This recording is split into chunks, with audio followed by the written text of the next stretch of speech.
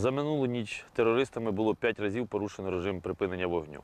Зокрема, були обстріляні позиції сил АТО неподалік населених пунктів Нижня Кринка, Жданівка, Золоте, Піски, Фащівка.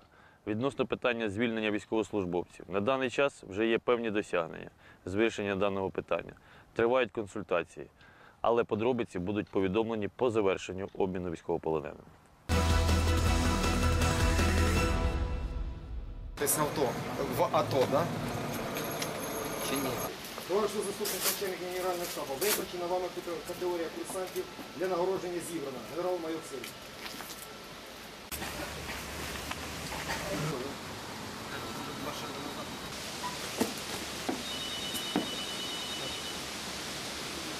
І слово Сергія Миколаївича. Кібера Володимира Андрійовича. Хочу вам подякувати за службу, за те, що ви дійсно виявили себе настоящими мужиками в хорошем понимании этого слова. Вірю, що ви будете достойними і грамотними офіцерами. Увага! Все. Увага.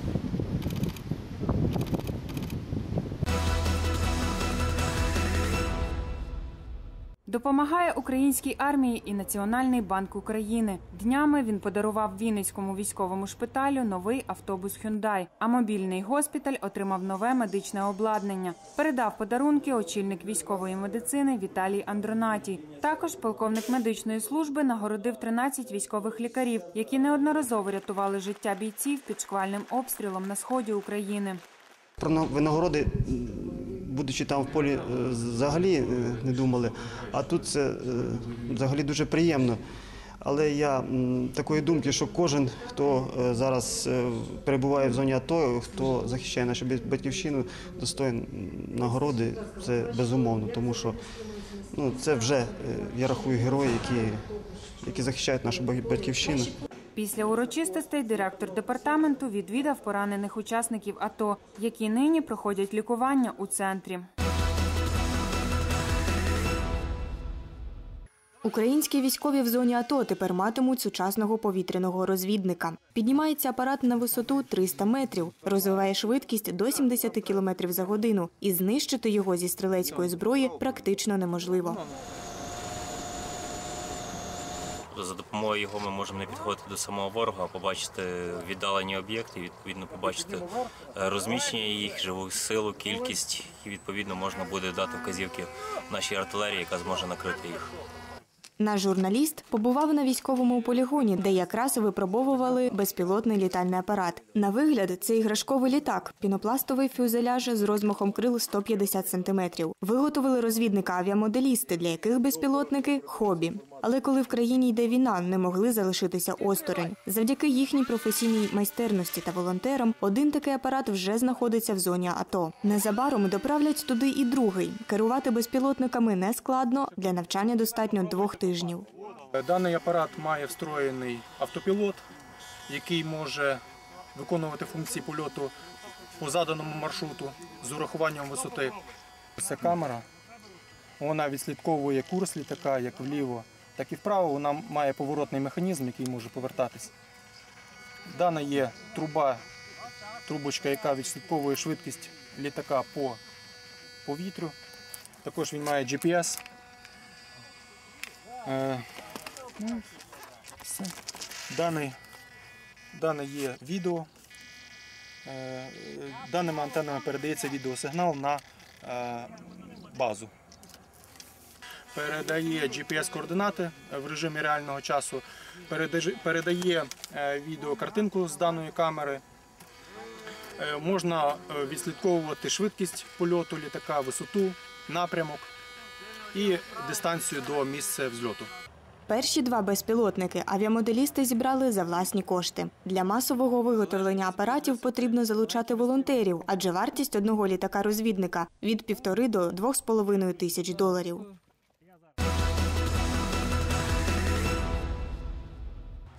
Ще зовсім недавно військову професію не можна було віднести до найбільш популярних. Молодь прагнула здобути фах економіста, перекладача, юриста та аж ніяк не артилериста, танкіста або гранатометника. Цього року ситуація змінилася кардинально. Абітурієнти штурмували військові виші. Порівняно з минулими роками кількість охочих навчатись тут збільшилася майже втричі.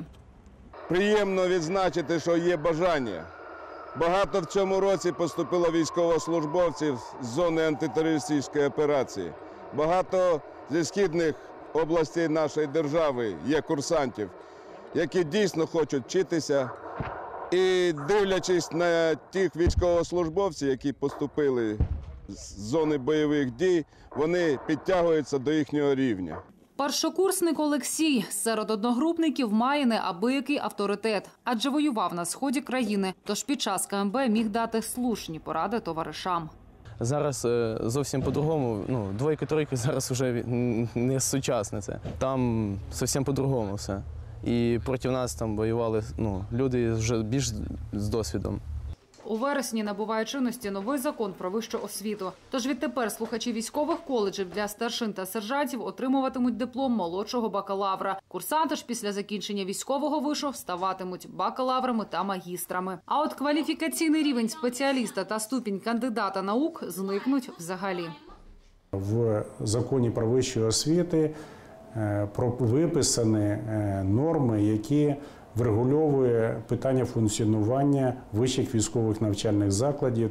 Життя також вносить свої корективи. Під час анексії Криму курсанти нахімовці відмовилися порушувати присягу та заспівали гімн України. Тож після такого героїчного вчинку не могли залишатися на окупованому півострові. Саме завдяки цим юнакам відкрили факультет ВМС у складі Одеської морської академії.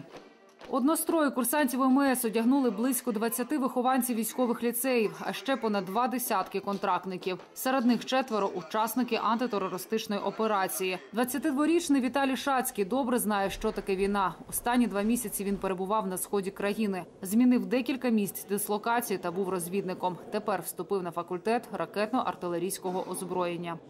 Готувався, ну, виходить, цього року лише ну, тут в Одесі декілька днів. Реально декілька днів для того, щоб повторити е, ту всю базу, яку я проходив ще в школі, в медичному коледжі ще навчаюся. І на даний момент я навчаюся е, в університеті імені Івана Огієнка. В усіх військових закладах коригують навчальні плани та навантаження, вводять нові дисципліни. Лише за останні 10 років підходи до підготовки курсантів змінювалися двічі. Тож події, які відбуваються у нашій державі, довели найефективнішою є схема підготовки 5 років курсант. Не треба забувати про те, що ми готуємо випускника, якщо можна так сказати, продукт, який на виході повинен бути а. Офіцером управління тактичного рівня і б. е, військовим професіоналом відповідної галузі. У військовому інституті Київського національного університету імені Тараса Шевченка навчальний процес вдосконалюють постійно. Навіть розробили спеціальну програму. Відповідно до цієї програми, всі наші курсанти, і хлопці, і дівчата, після проведення місячної практики в Десні е, отримували сертифікат на відповідність е, головного сержанта механізованого взводу. Військові виші прагнуть наблизитися до європейських стандартів. Курсанти працюватимуть на власний рейтинг. Навчальна система позбудеться старих шаблонів. Корінні зміни до методики викладання мовної підготовки, запровадження інтенсивного методу навчання за європейськими стандартами. Досвід АТО засвідчив, що пріоритетним завданням кожного військового закладу є психологічна та бойова підготовка. Для учасників АТО, добровольців та контрактників створили пільгові умови вступу, а поранених бійців автоматично зарахували до деяких вишів. Всі ці офіцери будуть зараховані до університету. Питання це було вирішено. І, до речі, деякі з офіцерів, не дивлячись на те, що є підтвердження, що вони перебували в зоні АТО, а таких е, понад 36 осіб прибули в навчальний центр, здавали екзамени, успішно склали екзамени, показали високі результати, просто підтвердили те, що вони дійсно е, достойні вчитися в університеті. Мають бажання, мають е, фах, мають високі моральні, вольові якості. Освіта сьогодні не робить різниці між тими, хто прагне вгору, і тими, хто ходить по землі. Вона всім дає ходулі і каже: ходи.